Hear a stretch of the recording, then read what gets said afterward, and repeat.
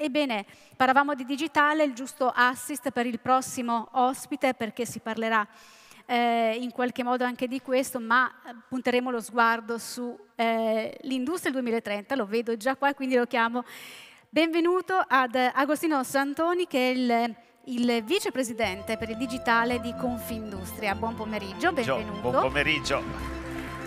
Io le lascio subito il palco, solo una curiosità, eh, delega al digitale, questo la dice lunga sull'importanza che riveste il digitale per Confindustria, immagino. Beh, futuro vuol dire anche avere la capacità di scegliere.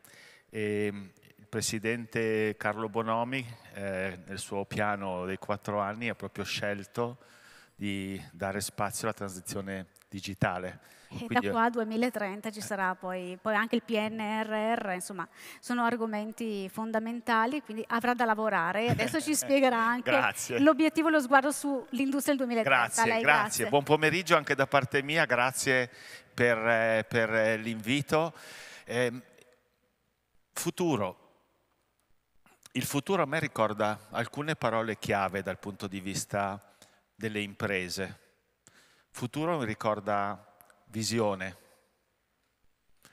strategia, imprenditorialità, rischio dell'imprenditorialità, strategia industriale del, del paese, cultura delle imprese, perché le aziende che hanno il maggior successo sono quelle aziende che scommettono sul futuro, creano una visione e agganciano attraverso la strategia la visione e la cultura dell'impresa.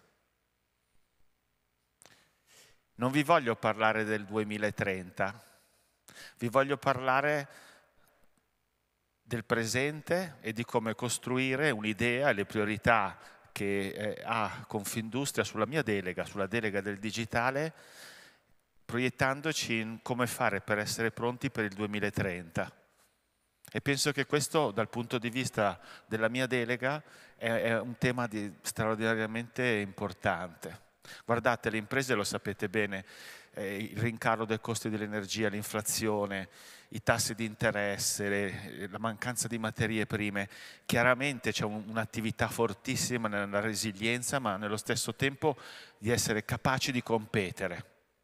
E allora la scommessa, quando si parla di futuro, si parla di scegliere. E quando Carlo Bonomi, presidente di Confindustria, ha scelto, ha scelto di dire bene, caro Agostino, adesso occupati di aiutare tutte le imprese nella transizione digitale e ha detto ci sono due grandi transizioni, quella digitale e quella della sostenibilità e diamo queste due priorità per aiutare le imprese ad accelerare. Allora, per qualche minuto vorrei ragionare con voi come creare quell'infrastruttura, quella piattaforma, che è la piattaforma del nostro paese, per aiutare e abilitare le imprese. Chi di voi pensa che non sia un diritto di tutti i cittadini avere l'accesso a internet? Ne abbiamo discusso per anni nel nostro meraviglioso paese, oggi non è più in discussione. Oggi penso che siamo tutti d'accordo e a me l'abbiamo sperimentato durante la pandemia che penso che sia un diritto di tutti i cittadini italiani avere l'accesso a internet ad altissime prestazioni.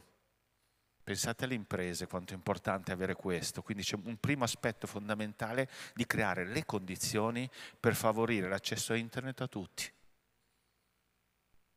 E poi c'è la sostenibilità abbiamo dei campioni nazionali e mondiali sull'utilizzo delle energie rinnovabili. SNAM, Enel, rappresentano lo stato dell'arte della digitalizzazione del trasporto del gas e dell'energia elettrica. Dici, ma che cosa vuol dire? Digitalizzare le reti di trasformazione dell'energia elettrica vuol dire riuscire a distribuire le energie rinnovabili.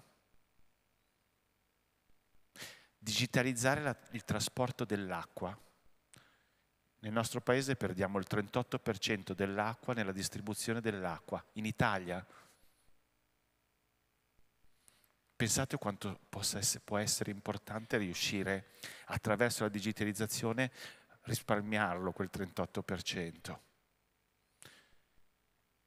Il ministro, l'ex ministro, il professore Enrico Giovannini ha parlato del piano della mobilità e ha parlato di porti, ha parlato di autostrade, ha parlato di strade e nel suo piano, quello che si sta eseguendo, parla di tutte queste infrastrutture devono essere digitalizzate, cioè ci deve essere attaccato un po' di internet. Allora proviamo a riprendere quello che ho detto negli ultimi minuti e provate a immaginare che queste infrastrutture, l'accesso a internet, la digitalizzazione di tutte le infrastrutture critiche digitali del Paese possano essere federate a disposizione di cittadini e di imprese.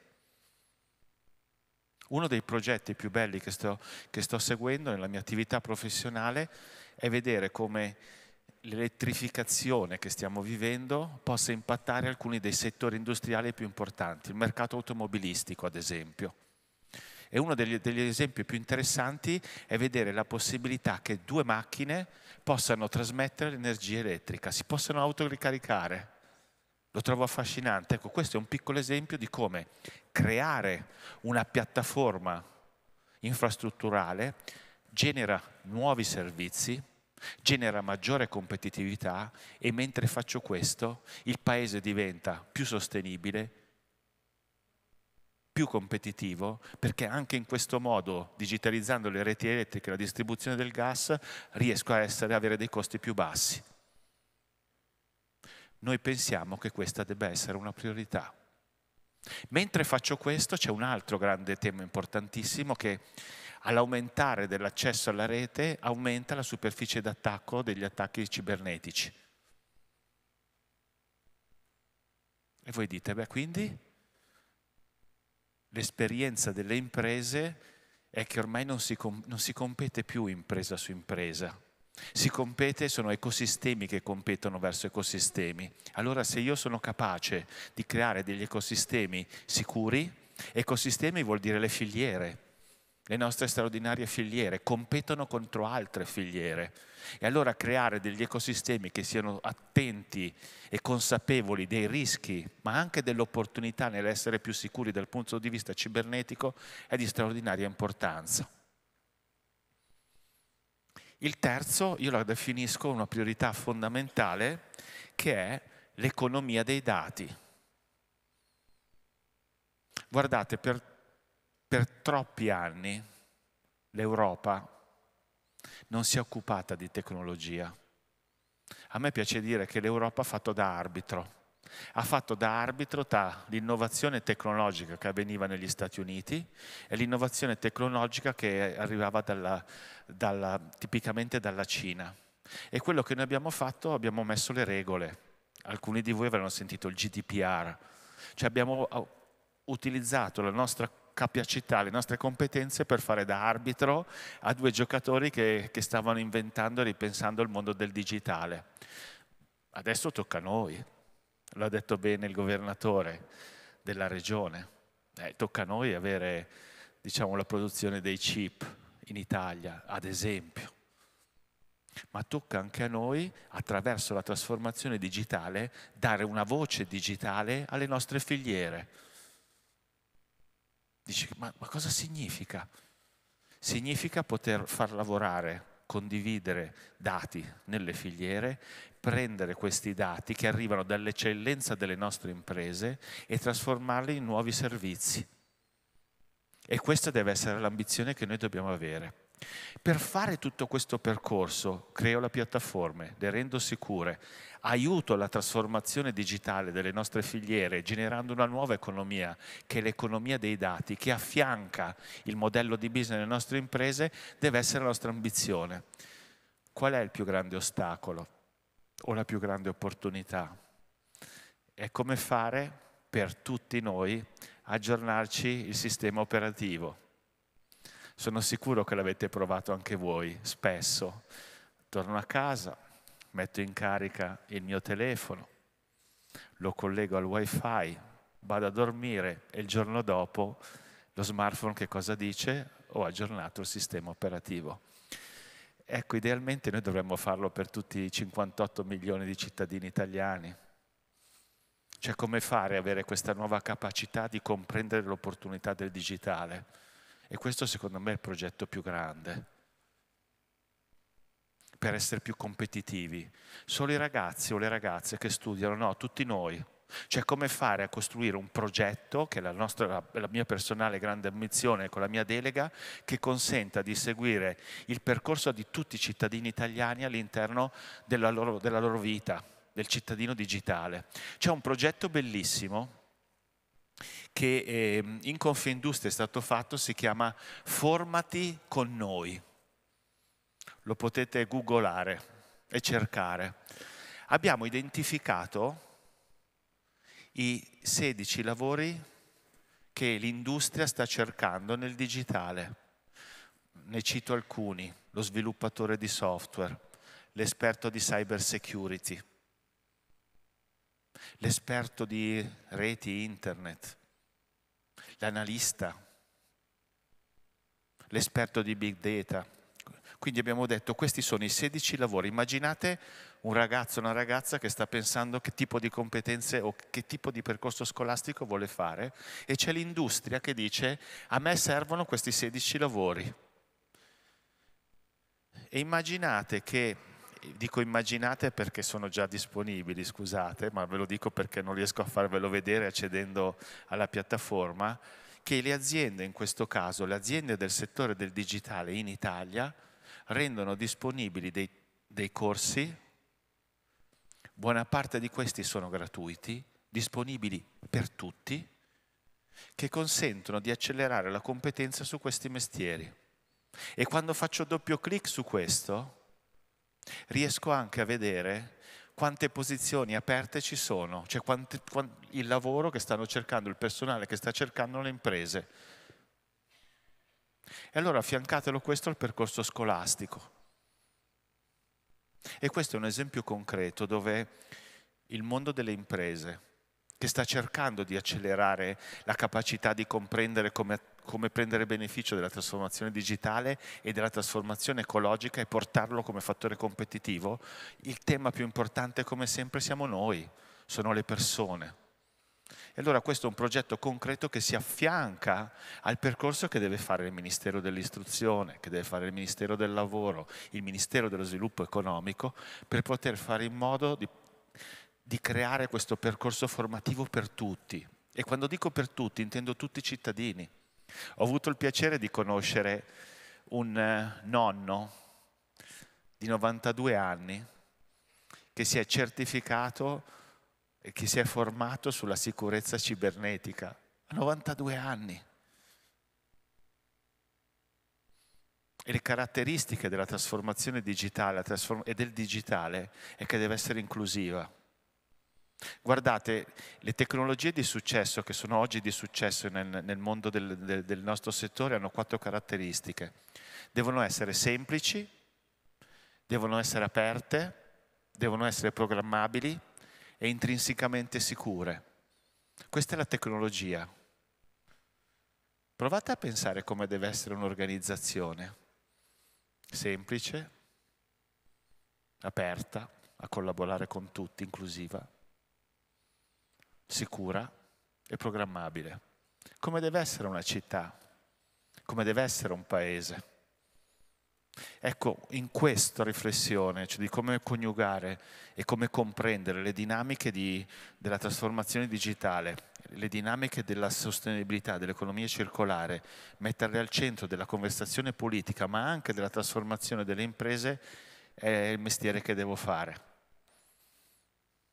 ed è particolarmente affascinante perché ci proietta nel futuro.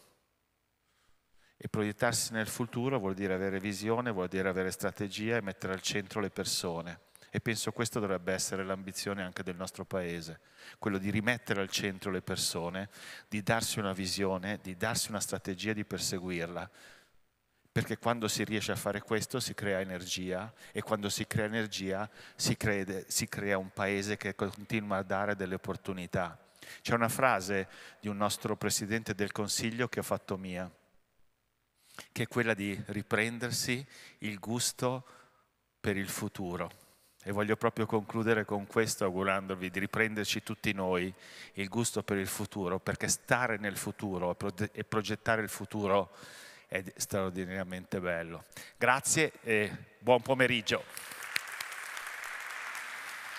Grazie Santoni, grazie per i lavori, 16 lavori per il domani e quindi dov'è che possiamo andarli a... Formati con noi. Perfetto. Digitate formati con noi, lo troverete. E poi anche per la speranza, perché se il nonno di 92 anni si è diplomato, certificato in sicurezza cibernetica, non c'è mai insomma, un'età per imparare qualcosa, lo ribadiamo. Certo. Quindi non bisogna avere paura del futuro, ma predisposizione, diciamola così. Perfetto. Perfetto. Buon lavoro. Grazie a lei, Grazie. buon rientro.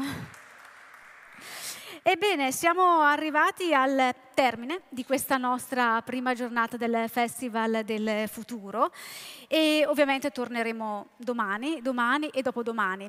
Parleremo di tante cose, tanti argomenti li avete già eh, un po' sentiti oggi, quindi continueremo sul discorso, il focus del conflitto russo-ucraino e quindi dell'impatto che ha anche sulle scelte energetiche del nostro paese, del futuro, gli impegni poi presi per la lotta al cambiamento climatico, parleremo eh, di energia, parleremo di finanza sostenibile, parleremo di metaverso, insomma tutti questi argomenti. Prima di darvi appuntamento a domani, permettetemi di ringraziare tutti eh, gli sponsor e partner che hanno reso possibile questa tre giorni, a partire dai partner istituzionali del Festival del Futuro, Confindustria Verona, Confindustria Vicenza, Confindustria Brescia, Verona Fiere e Agenzia ICE. Poi i main partner, Pastificio Rana, Platinum Partner, Cattolica Assicurazioni, Gruppo Generali e Banca Pictet, Gold Partner, Banco BPM, Calcedonia, SAP e SNAM, Silver, Partner, Barilla, Camozzi Group, Fastweb, Tecpa e Unicredit, Supporting Partner, ACS Data System, Credit Network and Finance SPA, Unical AG SPA, riscaldamento e climatizzazione, grazie anche a Burre Salvia Banqueting e alla nostra media partner agenzia ANSA. Grazie naturalmente a tutti gli ospiti che sono intervenuti, grazie a tutti voi che ci avete seguito da qua e a chi ci segue via streaming. L'appuntamento è per domani mattina alle 9. Buon futuro a tutti!